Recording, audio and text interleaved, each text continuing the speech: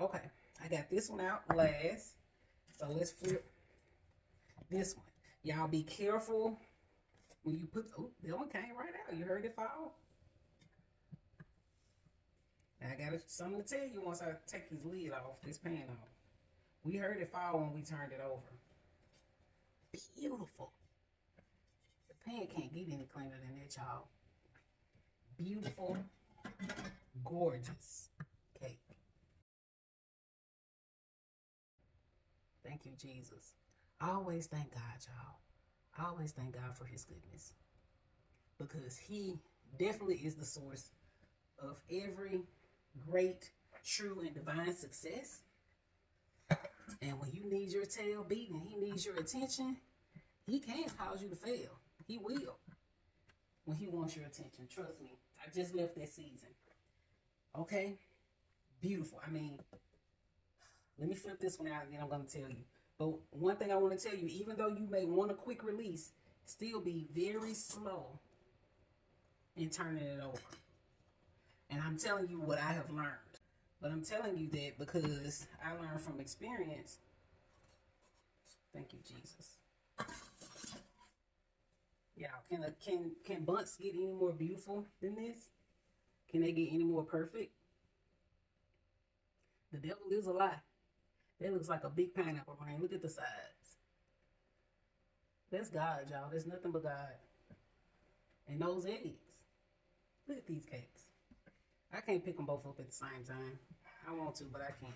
What I want to tell y'all is that even though you're expecting a quick release of your cake, no matter how well you know you greased it with um, flour and or butter and um, flour or lard or baking spray, when you flip it over, flip it with some gentleness because I've had a cake fall, like fall onto the cooling rack like it was a quick release.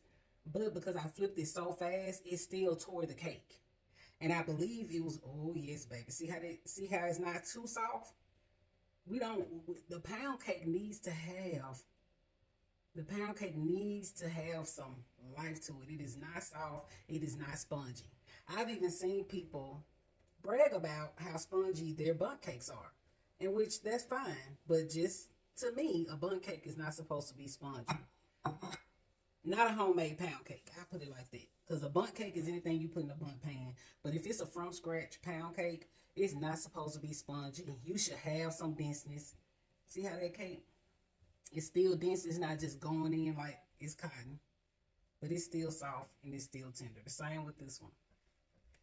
This is beautiful. They really turned out beautifully. I'm so glad that I used um, the farm raised eggs, the Cakes are completely cool now.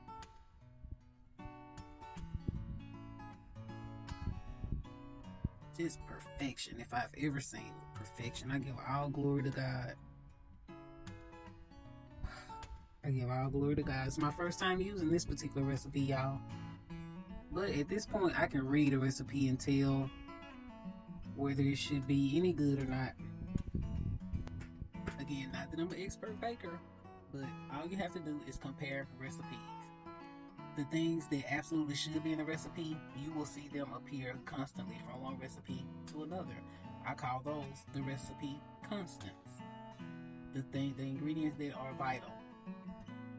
The other things that aren't in every recipe, I call those the variables.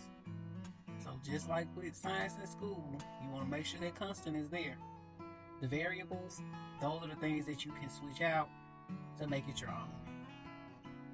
I didn't know it was gonna be this good when I decided to share it. I'll be honest. Not that I wouldn't have shared it, but I didn't know it was gonna be this good.